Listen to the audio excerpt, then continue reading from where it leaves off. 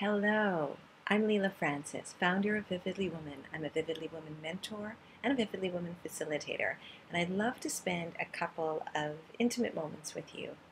I want to get real, I want to get present, I want to ask you a few questions, and for you to ask yourself and go inside and answer those questions to get really in touch with the wisdom that lives inside of you your sensual wisdom, your emotional wisdom your intuitive wisdom.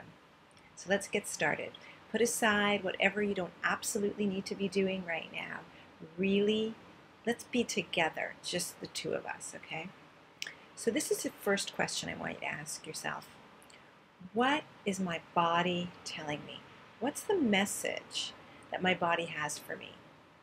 Something like, I want you to take better care of me. I want you to eat these foods and I don't want you to eat those foods. Every morning, I want you to take me out for a walk. I don't know what it is that your body's saying to you, but your body is definitely saying something to you. Our bodies are always speaking to us. So take a moment and ask yourself, ask your beautiful body temple, the abode that your soul and your spirit live in. Ask your body, what is the message? What is the wisdom that you have for me in this moment. So let's take a moment. Let's do that.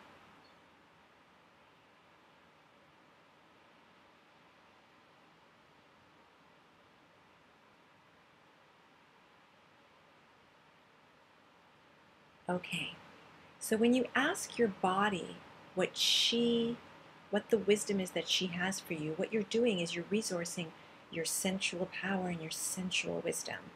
And there's no greater power and there's no greater wisdom anywhere. Not in a book, not in your favorite teacher, anywhere. Your body is your teacher. Your, your body is the most limitless source of wisdom that there is. That's what sensual power is about. We're going to move on to emotional power. So, the question for emotional power is this What feeling or emotion am I not giving myself permission to feel?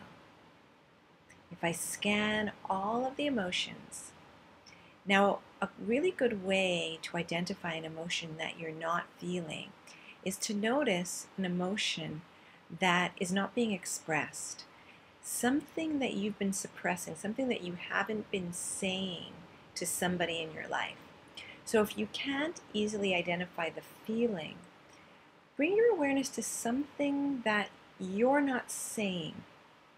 And you'll notice that when you bring your awareness to something you're not saying, it's because saying it would cause you to feel a certain way.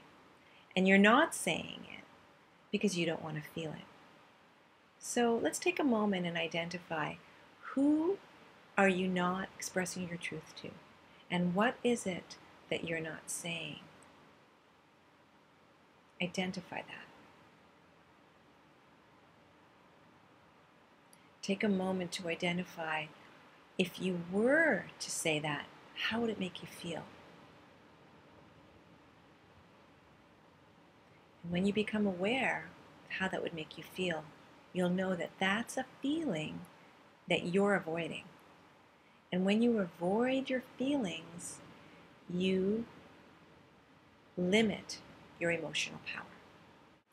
So that gives you a clue as to an emotion that when you start feeling it is going to give you access to the full realm of emotions, the full realm of your emotional power.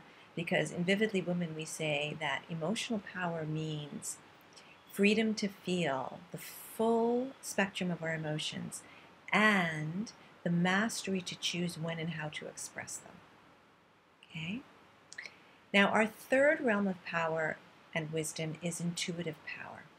And the beautiful, juicy question for you to ask yourself for intuitive power is this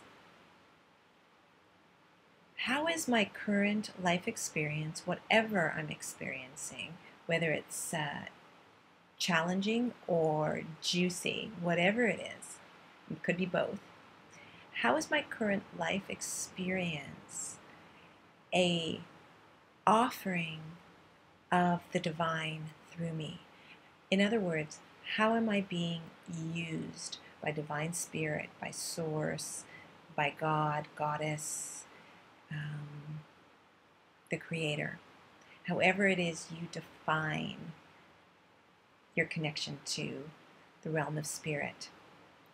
And when you identify the way that you're being used, when you access the power that comes with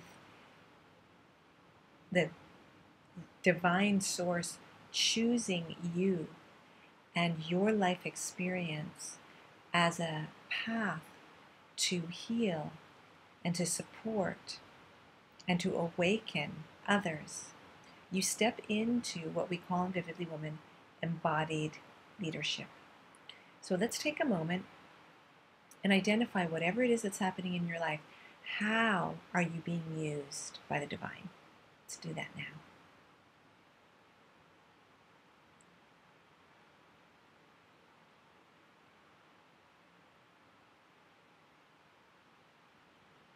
Thank you. It's, it's so important for us as women to spend time asking these questions. And especially if you're having any challenges or any roadblocks or any um, anything that feels like it shouldn't be happening, if you can stop and ask yourself, how is this actually an example of me being used by divine spirit?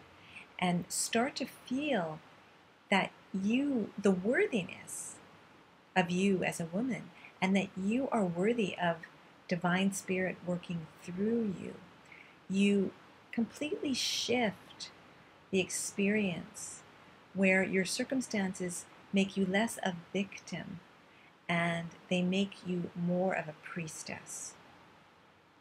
And that's really what each of the three power wisdom centers is about is how can you access the power and the wisdom from these three realms of your being sensual, emotional, and intuitive and invite in a power, a wisdom, a beauty, and a blessedness. And that is the path of Vividly Woman. I'd love to invite you to explore more about the power centers, the wisdom centers, at a beautiful Vividly Woman full day event that we do called Fire Up Your Feminine Power. And the next time that we'll be holding a Fire Up event is going to be in Denver on May 3rd. We would so love for you to come and be with us and be with your sisters in sacred and safe circle where you'll have an opportunity to really and truly come home to the beauty of your body and remember the blessedness of your being and remember that you are a vividly woman priestess and that you're on this planet to make a huge difference sensually, emotionally, and intuitively. Join us on May 3rd. Use the link below and follow us to find out exact details and how you can get yourself registered. We can't wait to see you then. Take care.